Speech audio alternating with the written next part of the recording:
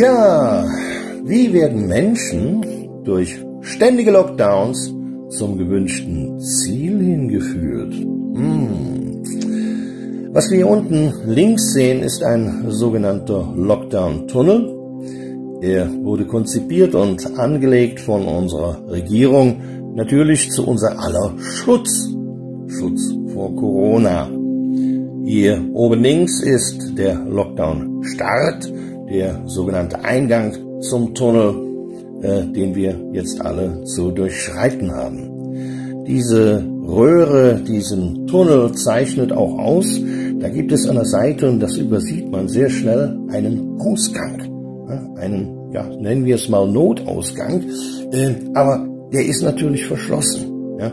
Nur, er würde sofort geöffnet werden, äh, sobald es in der Bevölkerung zu unüberschaubaren Unruhen und Protesten käme. So, so auf die Tour, macht euren Scheiß alleine, wir machen den Mist nicht mehr mit, weil schaut doch mal bitte auf die Zahlen, seid ihr denn verrückt geworden? Ja? Also dann würde natürlich dieses Tor hier geöffnet werden, denn eine Regierung, die ein solches Konzept hier vorlegt, Menschen ja solche ähm, Beschränkungen auferlegt, riskiert natürlich Kopf und Kragen. Und da muss man jederzeit in der Lage sein, die Menschen auch wieder in die Freiheit zu entlassen. Ähm, dieses Ventil oder diese Öffnung, die wird uns im Verlaufe des Clips immer wieder auffallen. Ähm, gehen wir aber mal weiter. Ähm, hier wird nichts geöffnet. Äh, wir müssen weiter durch die Röhre. Äh, viele soziale Kontakte brechen weg. Äh, so mancher Selbstständige verliert eben halt seine Selbstständigkeit. Aber das muss man in Kauf nehmen. Es gibt ja wesentlich Wichtigeres. Die Gesundheit steht auf dem Spiel. Und es wäre ja unverantwortlich, doch Geschäfte offen zu lassen, wodurch dann viele Menschen auch sterben würden. Ne?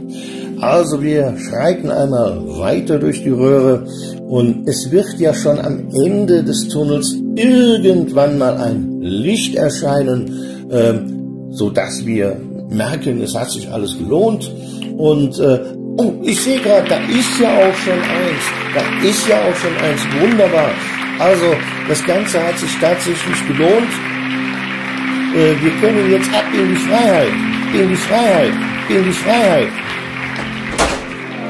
Oh, schade, schade. Oh, da haben sich sicher etliche nicht an die Auflagen gehalten. Oh, ich sehe aber schon wieder Licht am Ende des Tunnels. Ich sehe wieder Licht. Ja, da hat sich das Abwarten doch gelohnt. Oh, schade, schade. Es ist leichter zuzumachen als zu öffnen.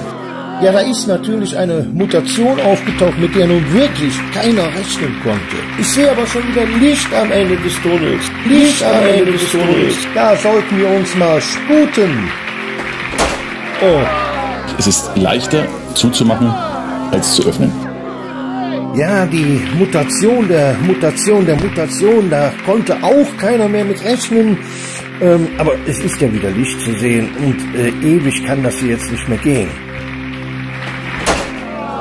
Es ist leichter zuzumachen als zu öffnen. Ja, also irgendwie, ich weiß nicht, ich weiß nicht. Das muss doch mal irgendwann zu Ende sein, oder nicht?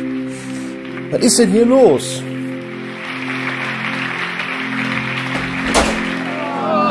Und dieser Weg wiederum, so mühsam und so ermüdend er auch ist, hat vielen Menschen das Leben gerettet. Ich möchte Sie bitten, meiner Arbeit weiter zu folgen. Es gibt neue und nicht besonders gute Nachrichten, die uns empfangen aus den Hinterzimmern der Bundesregierung. Und die deuten auf eine frühere und noch weitere Verschärfung des Lockdowns hin am 20. Oh, schade, schade.